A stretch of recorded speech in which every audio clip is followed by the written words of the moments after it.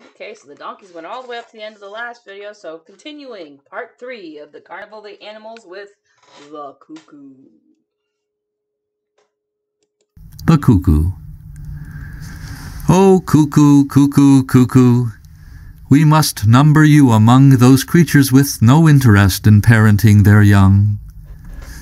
You slyly lay your egg within some smaller bird's abode, thus demonstrating that you lack the slightest moral code. Oh, cuckoo, cuckoo, cuckoo, it's no wonder you're reviled, permitting that unwitting bird to cultivate your child.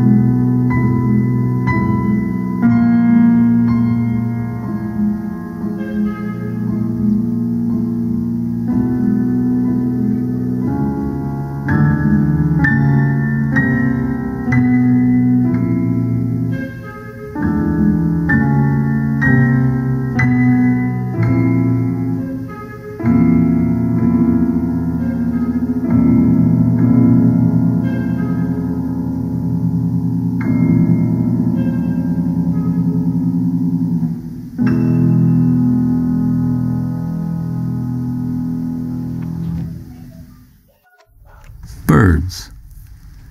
They flitter here, they flitter there, enjoying every breeze, and twitter songs of happiness amid the sheltering trees. They build their nests, they hatch their eggs, they warble as they thrive. With every note, they tell the world it's good to be alive.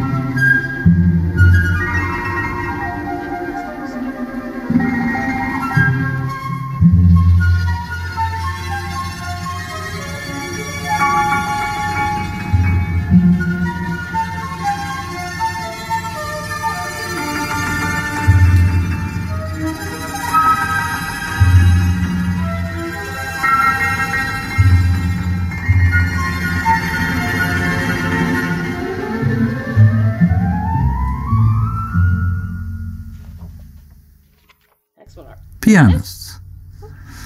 Practice, practice, practice, our piano teacher screeches. We practice, practice, practice, but we can't play what she teaches. Although we try our very best on every single scale, we always seem to fumble and our little fingers fail. But we practice, practice, practice as she screeches, screeches, screeches. And if we keep on practicing, we'll soon play what she teaches.